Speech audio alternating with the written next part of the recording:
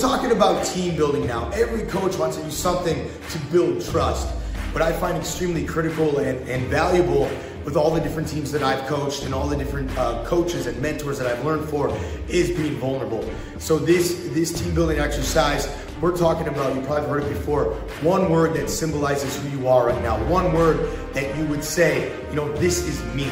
So, one, you're trying to get to know your athlete. Two, you get up in front of the whole team, you share your current one word.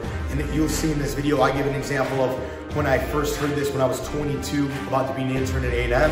And then my one word right now, 37, father of three, business owner, that drastically, those words change you change. Life is dynamic, but speak from the heart. You'll earn their respect in the way, and make sure that you set up. You see, we have different groups set up, so these these athletes actually can open up and what use their words to find out who they truly are and open up a little bit. This is an awesome little team building exercise. Uh, hopefully, you enjoy it. Man, okay, we're gonna do 20, 25 minutes of team building. As you guys know, we don't mess around with that stuff. Extremely critical for us to take our next step a big time program, to get to know each other, so we trust each other, so we connect with each other. First thing we're gonna do, team building wise, for you guys who missed this, we did this twice already, but we didn't have the full team. The goal, the intent here, the intent here of what we're missing to take the next step is getting to know each other, right? The only thing I know about Ricky Taylor, and this is my fault as a coach, is that he, when you live 40 minutes away, 40 minutes away, you move closer, how far, how long you live now? How many brothers and sisters you got? Three sisters. Older or younger? Two older, one younger. You're in between. They take care of you no? So that's so I know none of that about Ricky until right now. As a coach or as a big time program, we gotta start knowing each other. When you start to trust each other, get to know each other a little bit, I promise you, I promise you, when it gets hard, like it's gonna be hard. I promise you we're going to be down by 10 or more points sometime this year. Happens every year. Really good teams, really tight teams, they're able to respond and fight because they care about each other and they know each other. All right? Today's, today's what we're going to do. When I, I actually had this one time when I was about to be an intern at Texas A&M. I was a 22-year-old knucklehead at Illinois State. I had uh, the director, sports performance director. She's still there.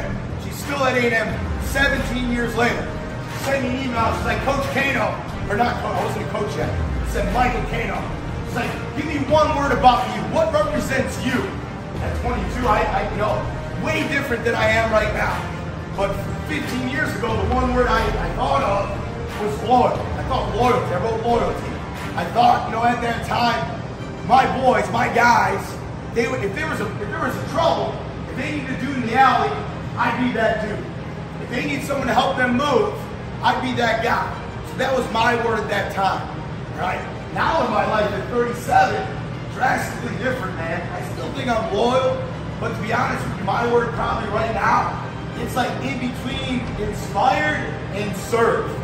Inspired and serve. I really feel like, you know, when I think of serve, I think it's if I do my best, I put myself in a situation to serve you guys. And so far in my life, one of the biggest things I've taken home, Randall, the more you give as a coach, the more questions you ask, the more time you invest, you always get more back. You always get more back. And it's like that in business, it's like that in teaching, and it's it's like that as, as kind of friends, right?